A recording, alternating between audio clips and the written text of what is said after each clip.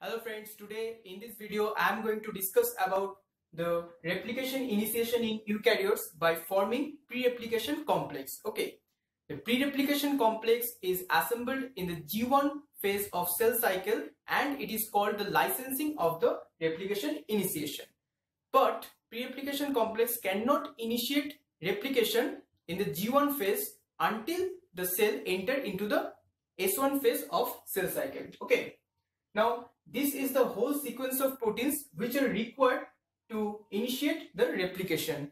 And these first four proteins are required to form the pre-replication complex in the G1 phase. And these latter proteins are required to initiate replication in the S phase. Okay. Now, suppose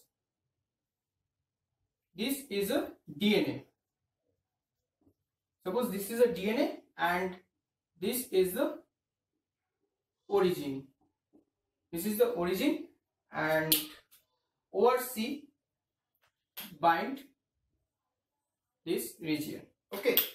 Now what is ORC ORC is origin recognition complex. Origin recognition complex. Okay. Now, ORC is a hexamer protein that contain ORC1 to ORC6 proteins. Okay. And it is analog of DnaA protein of the prokaryotes. Okay. Now, the second protein is the CDC6. Okay. CDC6 bind to ORC there. Is CDC 6 okay. And CDC what is CDC 6 CDC 6 is the cell division cycle 6 protein. Okay. This is a cell division cycle 6 protein and and this CDC6 and CDC18 are the same protein but CDC6 is present in the Saccharomyces cerevisiae and CDC18 is present in the Saccharomyces pombe. Okay. Now the third protein is the CDT1. Okay. CDT1 bind there like this and there like this to CDT protein. Okay. CDT1. Okay. Now what is CDT1? The CDT1 that is the chromatin licensing chromatin licensing and DNA replication factor 1 okay DNA replication factor 1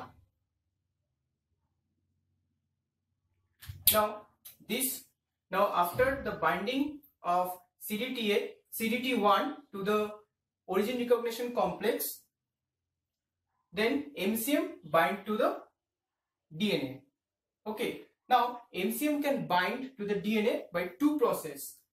One is the CDT1 independent manner and another is CDT1 dependent manner. In CDT1 and in CDT1 independent manner, at first CD, CDT is recruited to the ORC complex, then MCM come and bind to the DNA. Okay, but in CDT1 dependent manner, at first CDT1 bind to MCM, then they bind to the DNA. Okay. Now, what is now?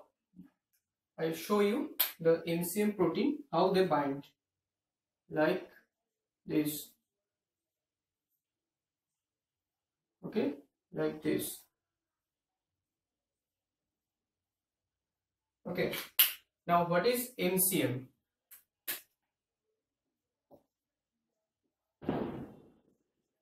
MCM is the mini chromosome.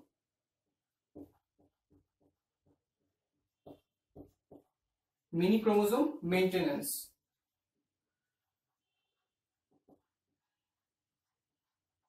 Mini chromosome maintenance complex. Okay and this MCM pro MCM protein is a, a hexamer protein that contain MCM2 to MCM7 proteins. Okay now this MCM protein has a ATP driven helicase activity which is analog of the DnaB helicase in the prokaryotes. Okay and uh, CDC, CDC6 CDC6 along with CDT1 is analog of uh, DnaC in the prokaryotes. Okay now this whole complex in the G1 phase G1 phase is called the pre-replication complex. Pre-replication complex. Pre-replication complex. Okay. Okay? Now, when the cell enter into the S phase from the G1 phase, this time the S phase specific proteins like CDK and DDK is produced. Okay. The CDK, the CDK means cyclin dependent kinase.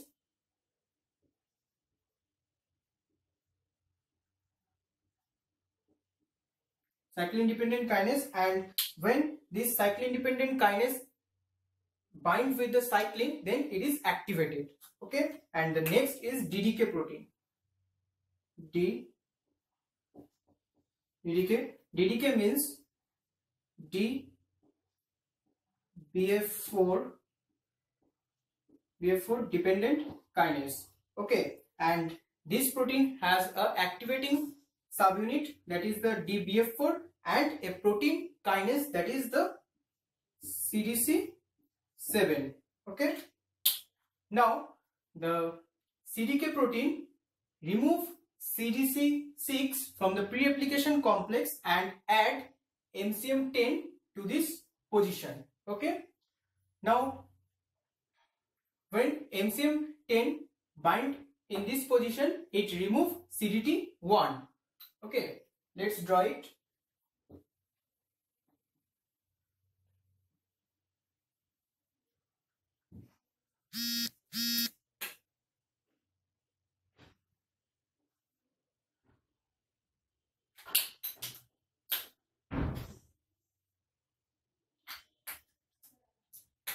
Now, this is the MCM protein, MCM10. MCM10 protein and it is the ORC and this is the MCM2-7 complex. Okay, now the CDC7 from DDK phosphorylate the MCM2-7 complex but but it only uh, phosphorylate the MCM 3 4 5 6 7 not the MCM 2 okay.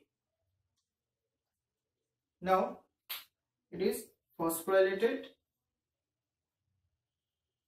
And this phosphorylated MCM2 to 7 protein 7 protein complex and MCM10 recruit the CDC45 to this complex. Okay, let's draw it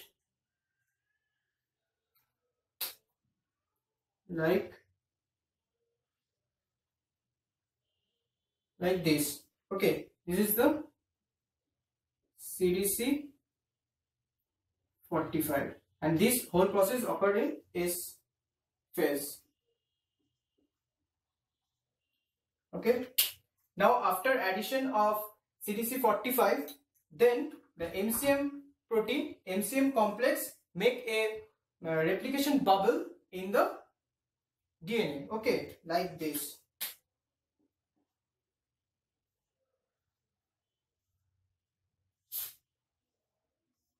Like this and this is the ORC this is the MCM 10 protein.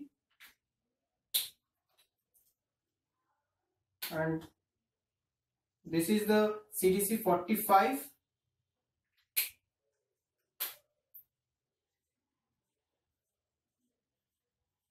this is the MCM complex.